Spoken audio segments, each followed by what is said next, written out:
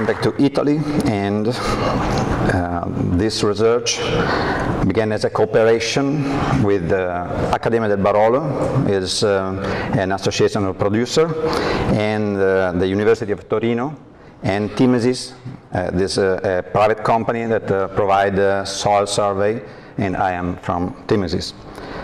I'm going to present you this preliminary result because the, this research is um, started in 2015.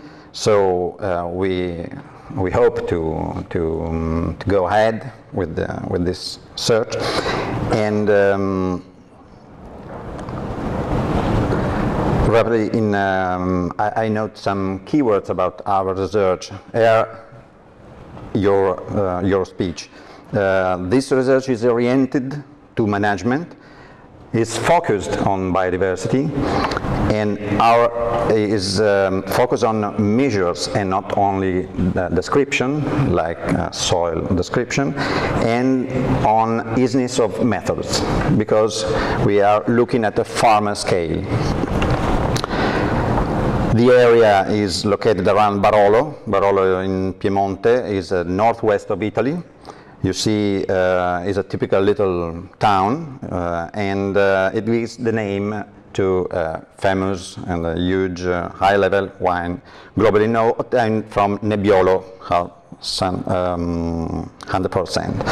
And uh, zooming in into the area, you can see we are close to the Alps, very relatively close to the Alps, it's 45 kilometers, and at the border of the hilly area uh, named Langhe, there's a wide winery zone.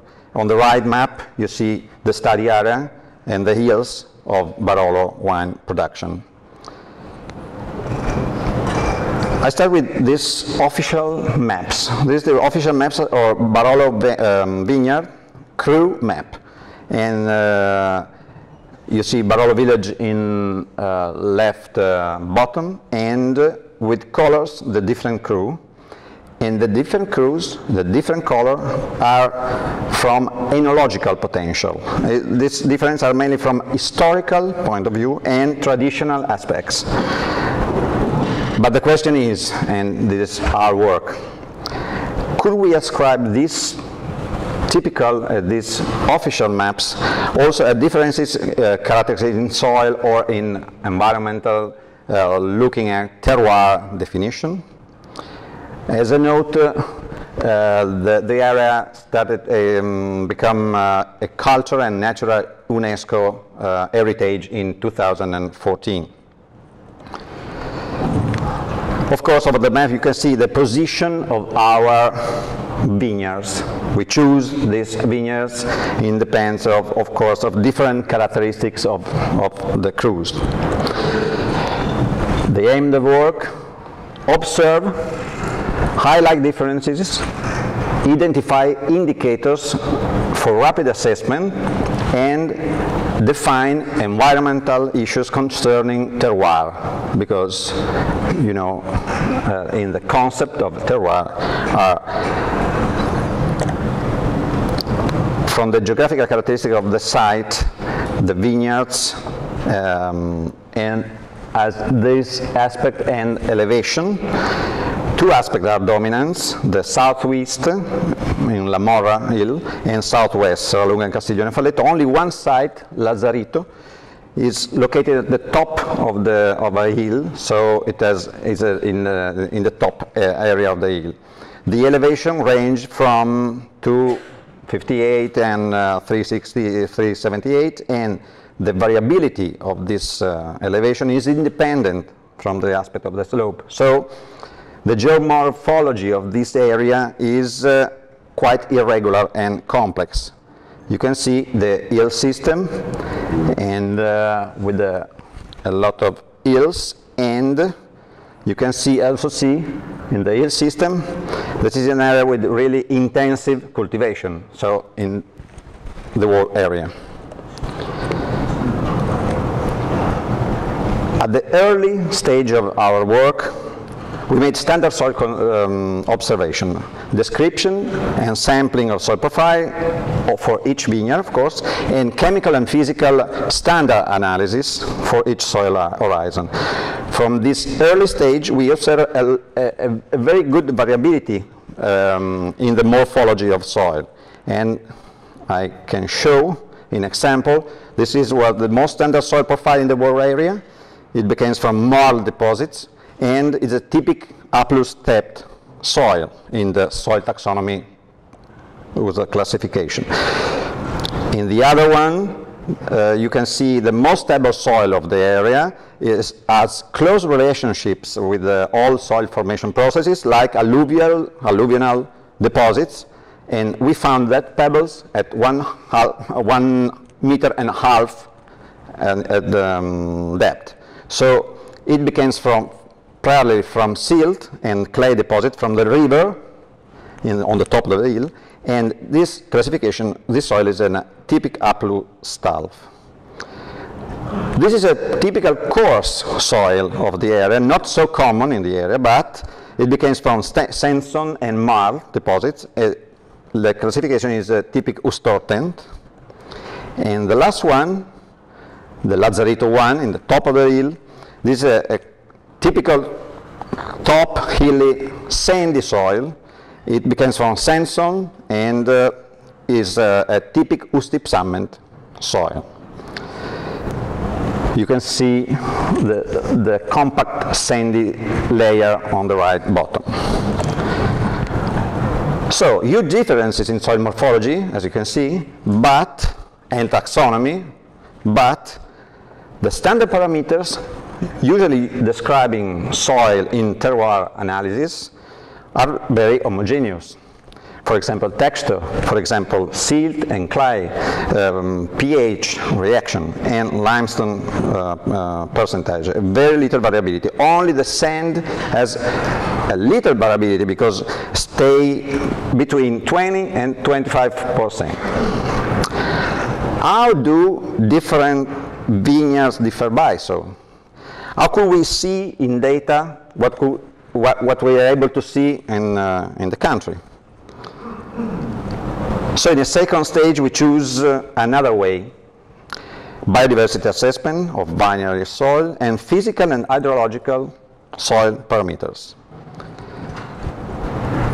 Given, of course, of the importance of biodiversity in soil, we try to quantify by it by the, an index proposed by the literature is a QBS R index. R is used as an abbreviation of arthropods. The index is calculated on the number of taxa and individuals of microarthropods found in the soil samples. Some taxa are more related uh, with soil functionality, of course, and so they take a more relevant score into the index we identify taxa and the count, uh, count the, the, the, the mi microarthropods in the soil sample. They are focused on their expression of the functioning of the soil, and their presence is used as a bioindicator able to identify the environmental stress and changing. Is it simple to monitor, of course, and effective for describing the soil biological quality? Microarthropods are particularly involved in the degradation of um, the organic matter, so they have huge importance for soil fertility and conservation. On this slide, you can see the position of microarthropods on the food, soil food chain. They have a, a great influence on soil biodiversity, that play a, a, big role in supporting the environmental sustainability also in vineyard. Uh, soil biodiversity represent a quarter of the total biodiversity on the planet. And this method assigns a different index at every taxa, depending from its ecological relevance. The most relevant have a, an index higher than the other not so relevant. The final QBSIR index is the sum of every single index from every taxa found in the soil sample. Here you can see some pictures about the monitoring phase and analysis phase of this index. And these are some first, of course, results. The average index is quite high in this area for all this vineyard um, related to other vineyards in Italy. I work a lot with this index in Italy and mark a general good conservative soil management.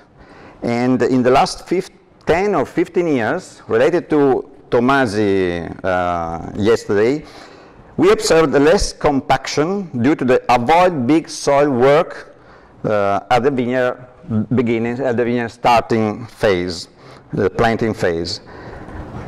The most relevant taxa, in fact, are present in less disturbed soil. You can see on the bottom examples of microarthropods.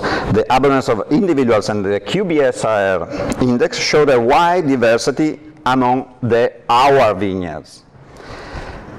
But they were not affected with chemical soil properties um, or weather stability, but the soil physical properties seemed more related of course, but we have to, to demonstrate with numbers. Uh, it measures possible impacts in, of vineyard management, of course, on this parameter. Then, of course, we could focus our attention in some physical parameters of soil, starting at first with soil porosity, of course, places where microarthropods live, and air capacity, the volume of soil of the biggest soil pores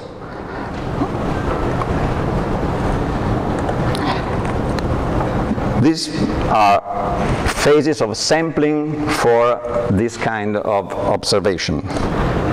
Quite simple. Uh, these are sand beds and Richards analyzer and uh, our lab instruments, quite simple, where we read tension potential too at lowest deep pressure and Richards analyzer when we read tension potential at highest deep pressure.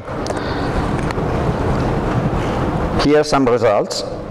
Despite the pedological homogeneity, we saw variability in air capacity and in total soil porosity. Not more variability in bulk density, of course, and nor in available water capacity. So putting in relationship the soil biological parameters and the soil physical parameters, these two measurements, we was able to find a first correlation, first correlation that we have to better analyze in further project approach. Only two words about the correlation matrix. Uh, we uh, saw a positive correlation from number of individuals and bulk density, QBS max, the index, total uh, index, and porosity, and negative correlation, number of individual and porosity. Of course, for any specified focus about the correlation, please talk to my favorite professor, Silvia Guidoni, sit over there. With the QBSR method fathers, that is, uh, they, they sit in uh, Parma University, we try to realize a first classification of dimension of soil pores and microarthropods environmental adaptivity. This is really a first conclusion. Vineyards showed similarities for soil parameters usually considered in terroir studies.